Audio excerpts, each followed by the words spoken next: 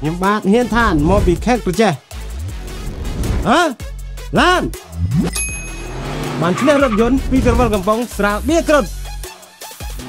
ពេលវេលាល្អពេលវេលាជាមួយគ្រុត